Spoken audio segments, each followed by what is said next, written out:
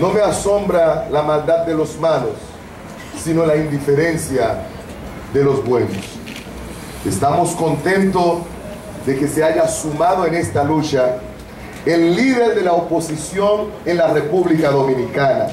Nos referimos a don Luis Abinader, para quien pedimos un fuerte aplauso que también va a expresar sus palabras a los compañeros y candidatos en lucha.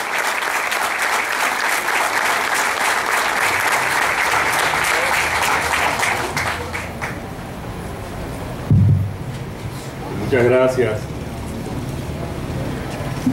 a los amigos Claudio, Dio, Rafael, a la dirección de nuestro partido, tanto nacional como local, a todos ustedes, toda la prensa y a todo el país.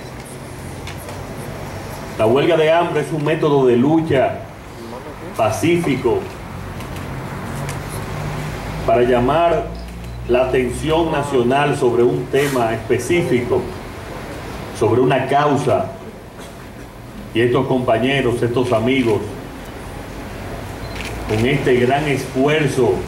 con este gran sacrificio que han hecho personal para su país, ya junto con otros, pero ellos como un símbolo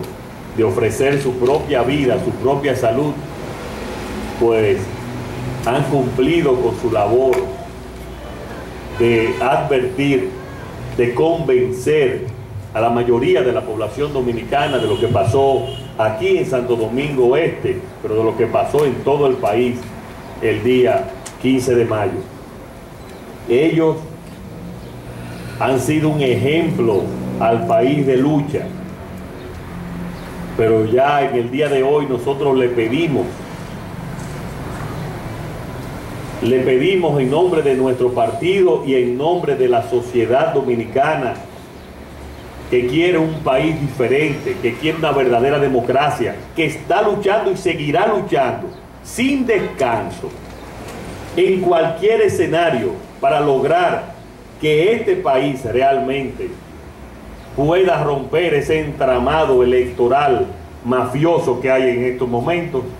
le pide que cambiemos ese método de lucha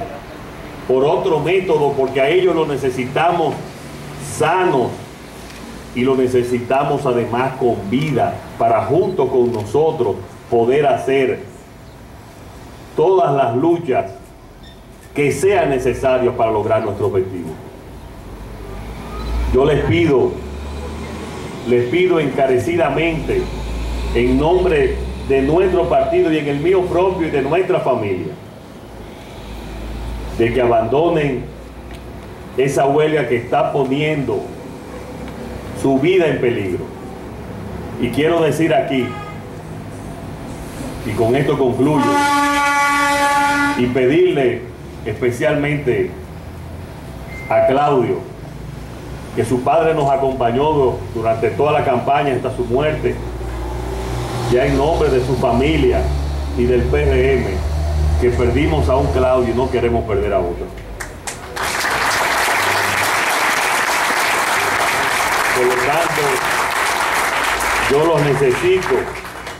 el país, el PRM, los necesita, toda la oposición los necesita a ustedes